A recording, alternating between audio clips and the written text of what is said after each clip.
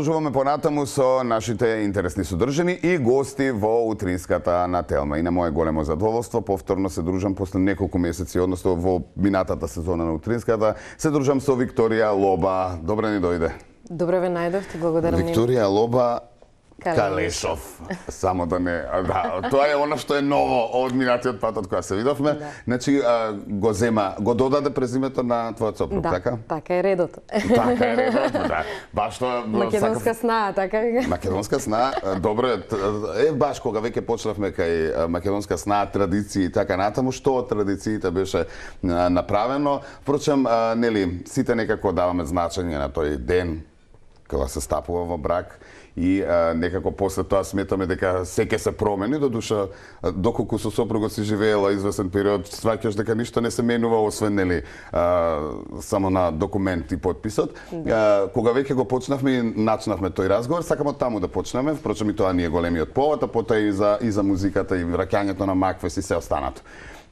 Ке погледнеме фотографии, ти благодарам за тоа што ни испрати, ке ги гледаме, а ти ке ми раскажуваш. Добро. Како беше замислена свадбата? Чинам август се случуваше? Ам, венчавката, венчавката ми беше тој Добро. делот кој што да беше значаен за, за нас. А, ја обожаваме црквата Свети Канео, Свети Јован Благослов во Охрид. А, и рековме ако се венчаме, ќе се венчаме само тука. И ете, ни се оствари желбата. И беше мала Богородица, еден прекрасен убав ден. А, така да едно прекрасно заедисонце, мислам дека најмагичниот момент во мојот живот беше токму овој. Значи таму беше со блиски роднини блиски пријатели, и да, да. пријатели во црквата во Охрид, Да, така? само 20 на луѓе бевме, а, така интимна венчавка и мислам дека беше сосема доволно тоа. Добро, а после тоа имавте нешто во, во Скопје по Да, потоа направивме, да, да, сите мислат дека завршивме ние со свадбата, ама ние да решивме видам. уште една свадба да правиме. Сега До веќе кај сте со свадбава, тоа ми Пошто сите ме прашува свадба, свадба кога и тоа две свадби направивме. Добро, Да, ова е веќе во во Скопје, во хотел, нели каде што си во твојата втора венчаница предпоставувам, Да. нели за ова веселба која што беше во во Скопје. Да, да, да. А, морам да кажам за фустаните кои што ми ги а, креираше а, Мони, Мони ателиер Коцарева. Она на вистина ги погоди токму моите а, ги, Желби, ги истакна, да, ги истакна моите атрибути, да кажеме. аха, добро. Па добро, има ли Да, кај тебе нешто и- што треба да се скрие? Не. Па добро, јас сепак имам така вкус кој што едноставен е, меѓутоа сакам тоа да биде убаво квалитетно, да речеме убав материјал, квалитетно убаво сошиено, така да беше тотално онака фит по мене. А, бев презадоволна и младоженецот можете да го погледнете дека беше одлично дотеран. Така е, како што личи. Да. Весела свадба и мислам дека не беше то нешто преголемо, околу 170 гости. А, меѓутоа сите беа на вистина многу многу драги наши пријатели и убаво се изнажувавме. Имаше од Русија? Успеа да дојдат? Па не, не успеа. успеа? Да, не успеа да дојдат со оглед А на ситуација, е, а во Русија ќе се прави трета? Да, мислам дека ќе се прави во Русија, здравје. Обично така бива. Да, Нека се смират работите. Да, е, па ќе да. може, што? Зошто да не? После известно време една таму да се направи свадба. Халината Па, имаш. да. Ако нешто друго. Пошто има две свадби и трета да направиме да, не парен да, број, да, така. За среќа. Добро, а третиравте традиции? Па не, не истеравме некои посебно традиции. А, Има некои интересни руски традиции? а, па, руски традиции. За Не- свадба? Не, ми, не се сеќавам вака нешто што е посебно. Нешто А знам конкретно дека на- знам дека а, кулите секогаш ги ги китат многу за кога се зема невестата. Ние не го правевме тоа. Да, добро, и кај нас се прави Да, генерално. да, се кити, меѓутоа се кити на вистина онака богато богато со со барбеки, со не знам, со млечиња, кукли со да. кукли, со се се и се што така.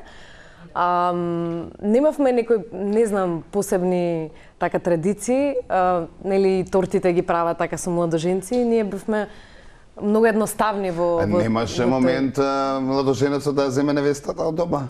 По невеста? Па во истиот дом Буткање живееме. врати и така натаму. Па се договаравме требаше во хотелот да буткаме врати, Види, меѓутоа и јас, и јас и сопругата живеевме во истиот дом, ама за Да. свадба наменски отидовме секој дома. Знаете Затоа како да, да, традициите ги истера пред а, братот на Ѓорги, така да Обично има се наоѓа секогаш некој. Значи први првиот кој што во фамилијата се женеше, ги истера традициите, вториот А така рад? поскромно. Ние рад. Вие рад, добро. Не, знаеш што ме интересира? Нели, го споменавме оној момент, нели, свадбата и сега после свадбата, впечатокот први, првичен твој, е, позитивен и негативен. Во кој момент е, е позитивен, во кој момент е негативен, што може нели да се да се издвои?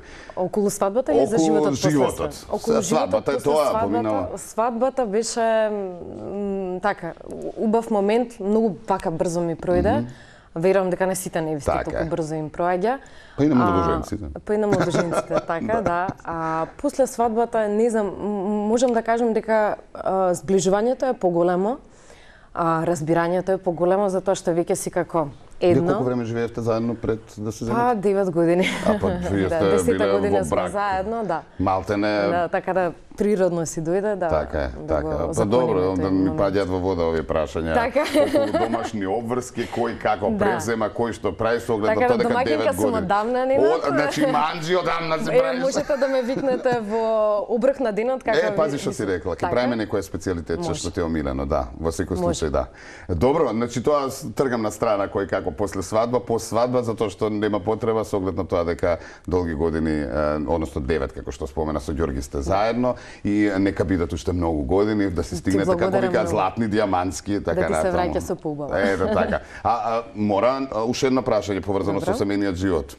Нели како вика тетки стринки одма кога Да. бебе Па се добро, работи ли и- на случајот или сакате уште малку време да живеете заедно? Не, ние нормално дека сакаме деца и пред да се земеме, мислам сакавме деца, така да ќе наскоро се надевам дека ете Бог ќе не Така е, благослови така е. и со со со таа убавина. Така е, па после знаеш кога ќе детето, па кага? Па втората. Да, кога втора, па тие ќе пораснат, па кога ќе ги Па кога ќе жените. ги мажите, Нон-стоп има жените, прашања од така таков да. тип, така. Да. Ајде сега прашањата за музиката и кариерата, која што си ја продолжуваш, нели, впрочем неа ни стопираше, како и да е, настапите исто продолжуваат, но на, што сакам да се задржам, ќе го погледнем и настапот од Макфест. Годинава и ти беше дел од учесниците, некако се најавуваше враќање на Макфест и сјајот на на Макфест. Коментарите се поделени, дали е тоа успешно или не, но во секој случај убаво е да го имаме тој реномиран фестивал. Излегоа хитови, меѓу кои и, Да. и твојата песна.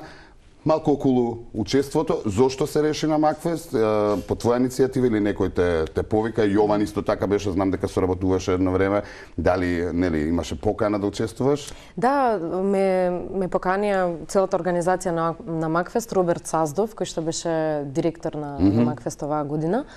А, решив да учествувам затоа што Токму така се најави враќање на сјајот на Макфест и а, јас го почитувам тој фестивал на вистина многу. Така. Исто така ме ме израдува ме израдува новите правила а, во однос на дебитантите дека они се надпреваруваат меѓу себе, а ние кои што веќе сме учествувале на Макфест можеме ревијално да се појавиме.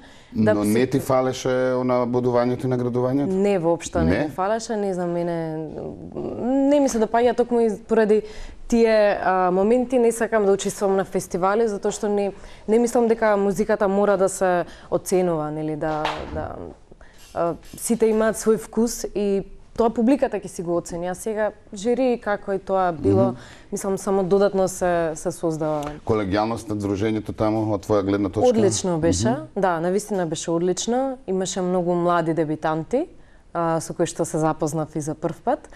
А, мислам дека имаше од- одлично и дружење и се. А, во однос на организација исто така сум многу задоволна, многу професионални. Mm -hmm. а, што до сега нели не се случило за мене да да комуницираат на мејл толку а, добро се во рок да биде и така натаму. Во тој однос многу добра координација. Mm -hmm. а, сум задоволна. Сената беше исто феноме- феноменална. А, Да. Звукот исто беше многу добар таму.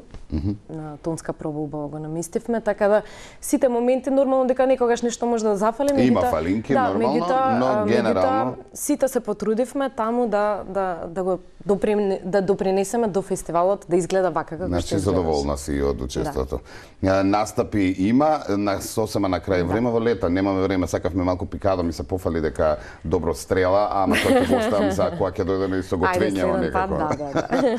да, а, малку околу настапите и ќе мораме да ќе мораме да завршуваме. Да, има има многу настапи сега низ Македонија и во Скопје Судиш исто со така. бендот стандард. Да, да, си одам со бендот и ам, така си уживаме. Баш во тој дел си уживаме. Сега пред нова година а, многу ќе се журкаме. Турбо- турбо ќе биде, така, да, да. Се чувствува веќе таа убава предновогодишна Подготвуваш атмосфера. некаков специјален репертоар, да речеме сега еуфоријата ќе не понесе сите, нели декември.